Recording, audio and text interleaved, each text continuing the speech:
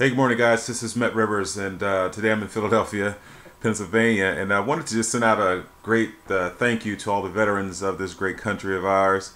Um, you know, it's I, I served in the uh, U.S. Navy uh, back in the day. I did four years, but you know, I did my part, right?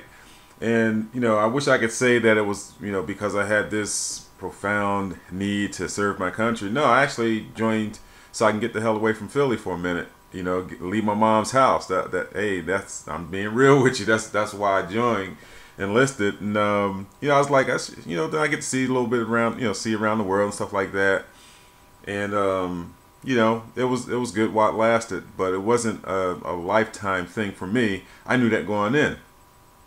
But for those of you who are still serving and those of you who have served, thank you for your service and your sacrifice. You know, leaving your families and stuff like that to go off to your duty somewhere around this world and uh, protect and serve, man. I, I appreciate you, and uh, that's from the bottom of my heart.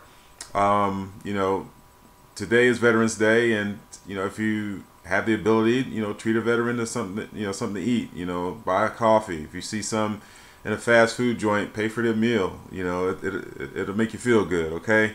Um, a lot of places like down in Jacksonville, you know, this place called Golden Corral. It's like a kind of like Cracker Barrel type places, a food place, they usually serve for free all the veterans, man. You just just show up, no questions asked, get a nice free buffet meal, man, and that's that's that's that's pretty awesome. So, um, you know, not much more uh, to this video other than thank you. Um, I appreciate you again, and uh, I love you.